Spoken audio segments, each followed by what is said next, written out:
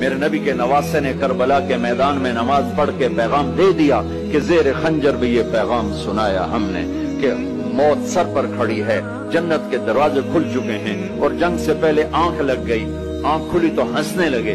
बहन जैनब ने पूछा, ये कौन सा हंसने का मौका है? फरमाया, अल्लाह के नबी को ख्वाब में देखा है। फरमा रहे थे, बेटा, मैं लेने के लिए आ चुका हूँ। इनके लिए तो जन्नत तैयार हो रही। जन्नत की सरदारी का ताज सर पे रखा जा चुका है। अभी दूध पीते थे माँ का।